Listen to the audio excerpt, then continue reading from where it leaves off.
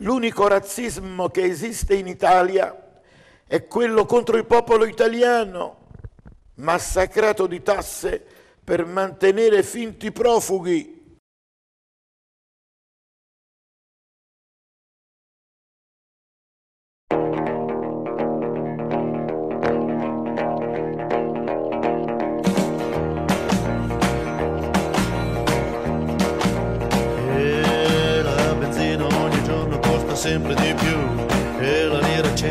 precipita giù. Svalutation, valutation. Cambiano i governi, niente cambia lassù. C'è un buco nello Stato dove i soldi vanno giù. Svalutation. Gentili telespettatori di Prima Free e di Internet, ben ritrovati di cuore anche oggi con la nostra opinione giornaliera che ha il compito di aggiornarvi, di informarvi e di farvi un po' di buona compagnia. Devo dire qualcosa su questo bizzarro, kafkiano scontro diplomatico fra la Francia e l'Italia. È ora di finiamola, cari cuginetti francesi, dovete smetterla di assumere l'atteggiamento dei primi della classe. Ma chi caspita siete? Approfitto per schierarmi a fianco della Giorgia Meloni completamente Giorgia, hai la mia totale solidarietà. Era ora che l'Italia puntasse i piedi, era ora che l'Italia si facesse sentire. La prima volta che una nave non attracca in un porto italiano, va in Francia, hanno fatto un casino della malora.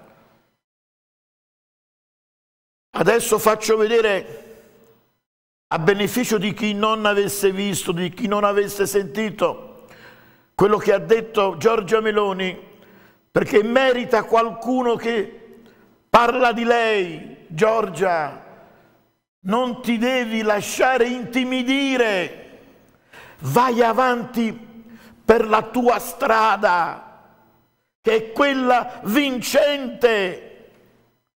Credimi Giorgia, hai la maggior parte degli italiani che è con te. Ci sono anche tanti compagnucci di sinistra che ti appoggiano perché ora di finiamola con questa supremazia transalpina. Se fosse per me, io domani mattina uscirei dall'Europa. All'inizio incontreremmo delle forti difficoltà, lo so, ma le supereremmo, credetemi. È un calvario stare in Europa con questi falsi alleati. Vediamo prima questo video e poi allertate il Presidente della Repubblica Sergio Mattarella perché gli devo dire qualcosa di particolare. Dai regia! Da parlamentare della Repubblica Italiana, da italiana, sono profondamente indignata, sono schifata per la lettera che il Partito Democratico invia all'ambasciatore francese per chiedere umilmente perdono delle azioni del governo italiano. Ma scusa di cosa? Ma voi ricordate che un partito francese abbia mai chiesto scusa all'Italia e agli italiani quando il presidente Macron ci ha definito vomitevoli, cinici e irresponsabili? No. Nessuno ci ha mai chiesto scusa per le azioni predatorie che la Francia ha fatto in questi anni a casa nostra, nessuno ci ha mai chiesto scusa per la guerra in Libia fatta contro gli interessi italiani per difendere gli interessi francesi, nessuno ci ha mai chiesto scusa e sapete perché? Perché nelle altre nazioni i partiti, quando si è di fronte a una difficoltà, beh, si schierano a difesa del loro popolo, non è una questione di maggioranza o opposizione, è questione di essere dei patrioti o di essere dei traditori. E noi in Italia abbiamo un partito democratico che è fatto di traditori e lo sapevamo già e ne abbiamo avuto la conferma. E secondo me è un problema che ci sia un partito che dice apertamente che è pronto a schierarsi contro lo Stato italiano. E spero che il Presidente Mattarella voglia almeno fare una, una telefonata a questi esponenti del Partito Democratico per ricordare loro che loro rappresentano gli italiani, non i francesi. Avete visto? Giorgia, il Presidente della Repubblica fa altre cose. Anch'io sono d'accordo con te che era compito di Mattarella richiamare gli scienziati del Partito Democratico che hanno chiesto scusa ai francesi. Invece la telefonata Mattarella l'ha fatta L'altro giorno a Macron, e io ve lo giuro davanti a Dio, mi vergogno di essere italiano. Signor Presidente, perché lei ha chiamato il signor Macron per chiedergli scusa? Io sarei andato avanti senza chiamarlo. Qualcuno mi dirà spatalino, ma non si poteva, si doveva trovare una soluzione, sempre a vantaggio dei francesi, perché logicamente il signorino Macron si è ringalluzzito, ha detto ma come? Il presidente Mattarella ha avuto paura per chiamarmi, cosa pagherei per sapere cosa si sono detti i due presidenti.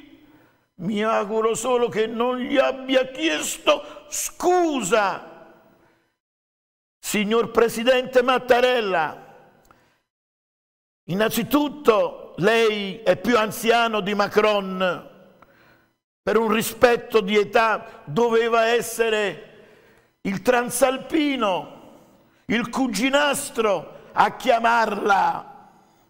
Invece loro no, sono rimasti sulle loro posizioni. E allora le ricordo con il massimo rispetto, signor Presidente Mattarella, che lei ha chiamato un tipo strano. A me non è mai piaciuto, mai Macron. Però devo ringraziare le mie sentinelle, in questo caso un caro amico di Modena, Davide Baraldi, che mi ha mandato delle foto che ritraggono il presidente francese insieme a certi personaggi. Nel 2018, non nella preistoria, quindi 3-4 anni fa, trasferì una sorta di gay pride all'Eliseo, uno spettacolo squallido. E lei, signor Presidente Mattarella, va a chiamare un tipo del genere.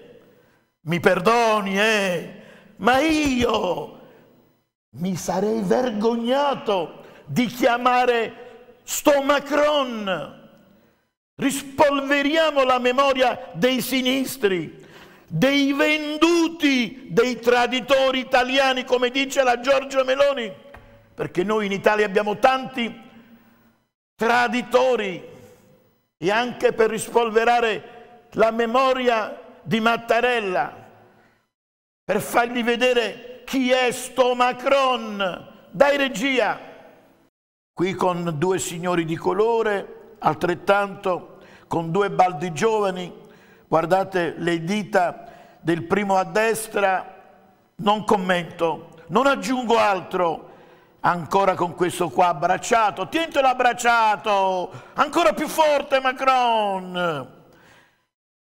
E poi la festa del Gay Pride trasferita all'Eliseo, Insieme a Macron c'è anche la sua gentile signora di qualche anno più vecchia di lui. Ecco, signor Presidente Mattarella, perché io sono indignato per la sua telefonata. Lei doveva prendere il telefono, mi perdoni, sa, se mi permetto di suggerire qualcosa io avrei chiamato la Giorgia Meloni e le avrei detto brava signora Giorgia oppure bravo signor Presidente per il suo coraggio. Vada avanti, resistete, perché lei, le ricordo signor Mattarella, è il primo cittadino d'Italia.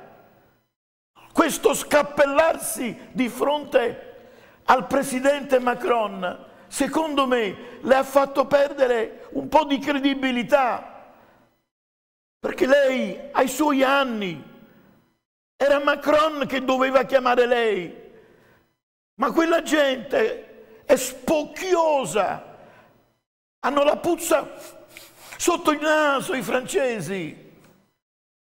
Lei ha dato troppa importanza a questo signor Macron.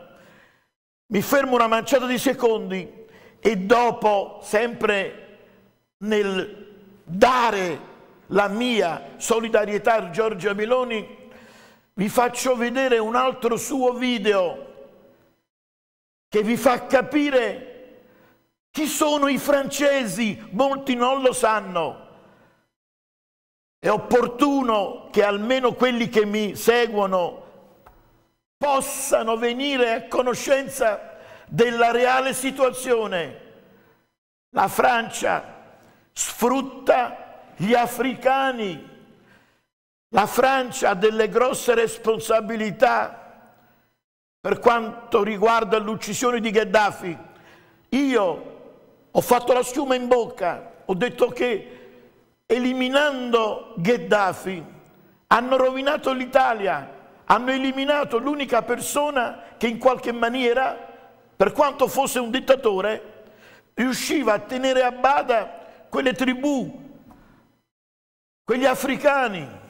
Era l'unico. Eliminando Gheddafi, la Francia ha avuto l'aiuto degli Stati Uniti, i guerrafondai, gli inglesi si sono impossessati del petrolio e hanno incasinato il Mediterraneo. Questa è la realtà. E io devo sentire gli ampollosi sinistri con le loro chiacchiere.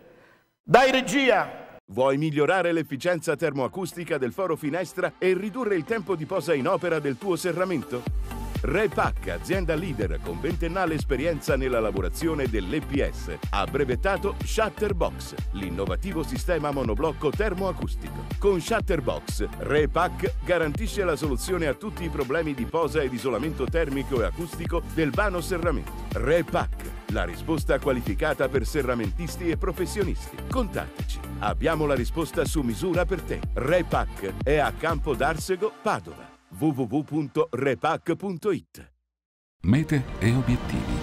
La tua guida è una voce che riecheggia dentro di te. Tutto è possibile. Il progetto di una nuova casa o la sua ristrutturazione a volte sembra impossibile, a volte spaventa. Noi di Callegaro Costruzioni capiamo le tue necessità e le tue aspettative e prenderai col nostro aiuto le decisioni migliori. Renderemo il cantiere e le nostre lavorazioni di ultima generazione un'esperienza unica. Insomma, non sarai mai solo. Callegaro Costruzioni, una mano all'ambiente, una al sogno di una vita. Ben ritrovati gentili telespettatori di Prima Free e di Internet. Saluto i nuovi che mi dovessero vedere per la prima volta Ricordo che io oltre a questa rubrichetta, all'opinione di Enzo Spatalino che va in onda tutti i giorni, dal lunedì al venerdì alle 20.30, conduco un'altra trasmissione, La Voce d'Italia, perché andiamo su tutto il territorio nazionale, grazie ai nostri magici canali nazionali 170 e 231. Annotate 170 e 231. Io a volte mi arrabbio perché non c'è giustizia, non c'è coerenza. Io combatto la falsità, l'ipocrisia strisciante. Vogliono fare i francesi gli accoglienti con i porti nostri. Ma dove sta scritto? Macron, guardati allo specchio e frequenta altre persone, è un mio consiglio amichevole da buon cugino che ti do. Non ti far vedere insieme a certi personaggi. Screditi la tua figura di presidente. Ah, se ci fosse un po' di giustizia. Questo si chiama Franco CFA. È la moneta coloniale che la Francia stampa per 14 nazioni africane quale applica, alle quali applica il signoraggio e in forza delle quali sfrutta le risorse di questa nazione. Questo è un bambino che lavora in una miniera d'oro in Burkina Faso. Il Burkina Faso è una delle nazioni più povere del mondo. Per il Burkina Faso, che ha l'oro, la Francia stampa moneta coloniale. In cambio pretende che finiscano nelle casse del tesoro francese il 50% di tutto quello che il Burkina Faso esporta. L'oro che questo bambino si infila in un cunicolo per tirare fuori finisce per lo più nelle casse dello Stato francese. Allora la soluzione non è prendere gli africani e spostarli in Europa, la soluzione è liberare l'Africa da certi europei che la sfruttano e consentire a queste persone di vivere di quello che hanno. E chiudo oggi la mia opinione complimentandomi con una persona che ha fatto un gesto straordinario un generale Antonio Ligobbi. Complimenti generale, io amo le persone come lei e non gli ipocriti. Ha restituito una medaglia di bronzo che aveva ricevuto dalla Francia alla luce di questo indecoroso spettacolo. Dai regia diamo visibilità agli italiani onesti a quelli che danno prestigio al nostro paese. Eccolo qua, si chiama Antonio Ligobbi. Ha detto le accuse e le azioni intraprese nei nostri confronti dal governo francese non sono tollerabili. Pertanto, a mezzo raccomandata, ieri questo generale ha restituito all'ambasciata di Francia in Italia la medaglia di bronzo della difesa nazionale avuta in relazione alla sua attività in Bosnia-Herzegovina nel 1995-96 e ha detto come italiano non ritenevo di dover ancora portare questa decorazione francese. Bravo, bravo generale, sono orgoglioso di avere delle persone in Italia come lei, a differenza di tanti peones che si lavano la bocca che sono dei veri e propri traditori. Dai, anche per oggi penso che possa bastare. Grazie di cuore per la cortese attenzione nei nostri confronti, un grazie ai miei sponsor e un grazie per la parte tecnica al nostro regista Giovanni Stoppa in cabina di regia. Viva l'Italia! Forza Giorgia, vai avanti! Arrivederci!